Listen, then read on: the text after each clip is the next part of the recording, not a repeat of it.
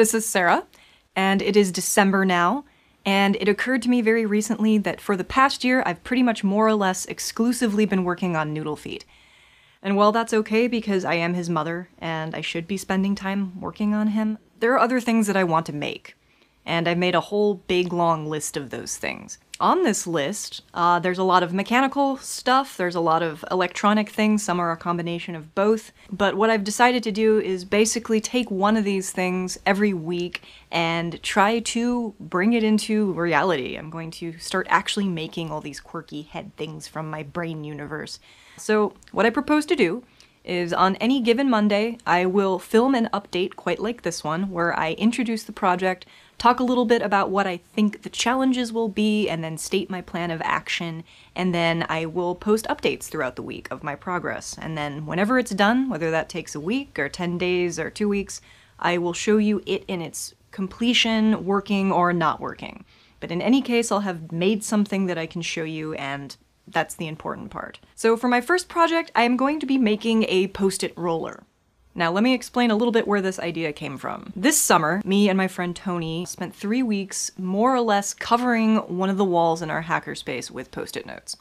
And this was no small feat, it took a really long time.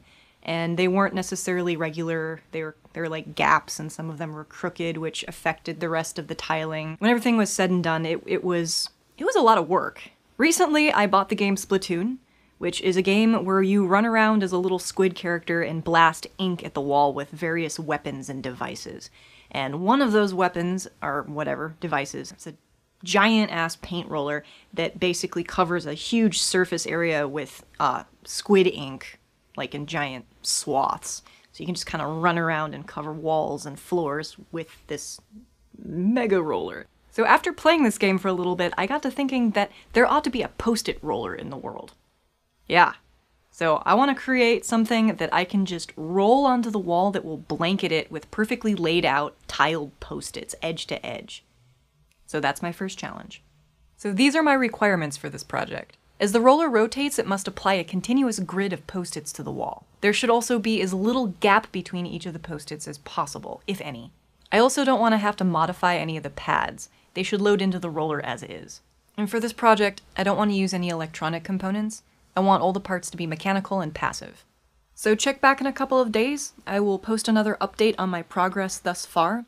I think first I'm going to create one cartridge that spits out one continuous line of post-its. So hopefully I can pull that off soon. Until then, thank you for watching, and I hope to see you soon. And Noodle says Merry Christmas. It's beginning to look a lot like